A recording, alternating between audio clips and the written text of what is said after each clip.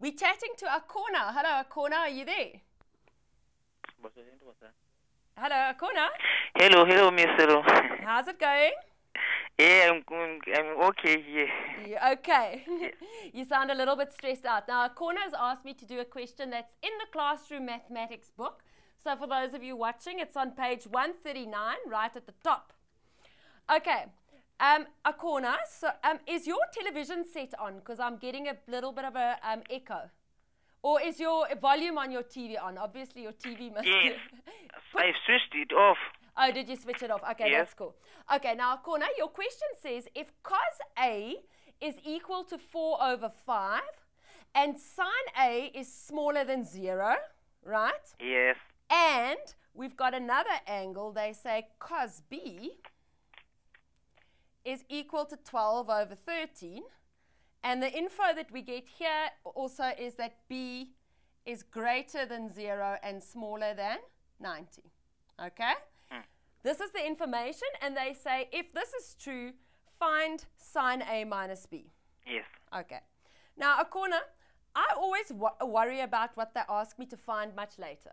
All right. Yeah. So I'm first just going to look at this information that they've given me. Okay. Yes. Uh, But in this question, maybe it would be useful. Um, do you recognize the sine A minus B? What's going on there? What is that? it's a it's a compound. It's a compound angle. So, in fact, let's write it out. Yes.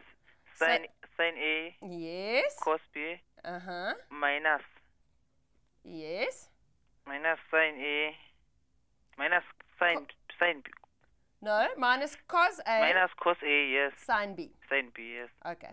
So this is what we're going to need to do. We're going to have to find sine A, sine B, cos A, and cos B. Okay. But what I'm going to do now is I'm going to look at each of these pieces of information separately because they, they, you know, they're two different angles. Mm. And what I want to establish first is which quadrants are we working in? Yes. Okay. So you draw up your ASTC diagram. You know that one. Yes. Okay, so we say cool. Cos A is 4 over 5. That is positive. So I'm going to tick the places where cos is positive. Yes. Okay. Other bit of information, sine is less than 0. So I also need to tick the places where sine is negative. Yes. That's there and there. Do you agree with me that we are then working in the third quadrant? Yes, I agree. You agree. Okay, fantastic. Now, what I like to do is I'm not going to draw a sketch or anything. I draw up a little table for myself and I say X, Y, and R. And I say, look, if I'm working in the fourth quadrant, my X values will be positive. Do you agree? Which one? If I'm working in the fourth quadrant, my X values will be positive. Do you agree? That's Yes. the positive X axis, but my Y value will be? Positive. No, my y is negative. Okay. And r is always positive. Mm-hmm. Okay. Yes. Then I have a look at what I'm missing. Okay, so cos is x over r. Yes, it's over. R. Okay, so what am I missing? I'm missing Why? y. And how do you find y? Pythagoras. Pythagoras. But if you've done this a couple of times, you'll start recognizing that that's a 3, 4, 5 triangle. yes. Okay, so but otherwise, just because we're almost at the end of the show, I'm going to say, cool, x is 4, r is 5, and y is 3. And I get that with Pythagoras. Yes. Okay, cool. Now I'm going to do exactly the same thing for the next one, for the, for the cos b. Okay? Yep. Cos b is 12 over 13. That was also positive, yeah. So now I tick the places where cos is positive. That's there and there Mm, fourth quadrant and first. fourth, uh, fourth quadrant and first. But also, my other piece of information says B is between 0 and 90. So do you see that I'm working in the first quadrant? Yes. Okay, and that's happy days because in the first quadrant, everything is positive. Yes. yes. Okay.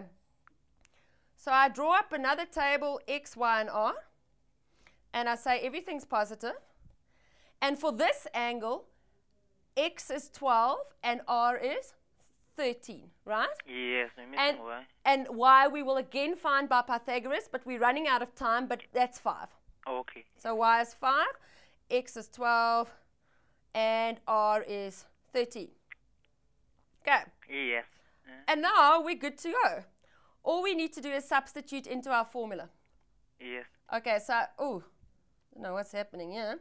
All right, so now we're going to say sine A, right? Sine A, that is my first angle. Sine is y over r, so that's minus 3 over 5. Yes. Okay. Yes.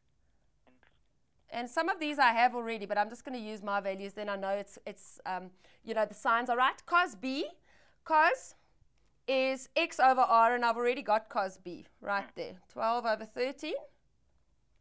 Okay. And then minus cos A. Let's check A again. That's 4 over 5.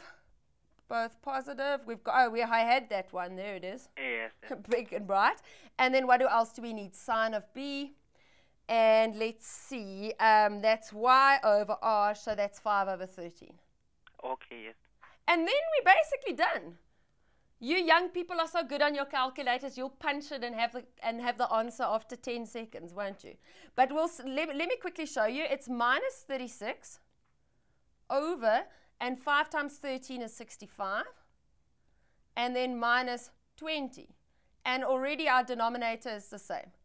So that's pretty easy. We just add them, and we, the answer is minus 56 over 65. Okay. Minus. It's over.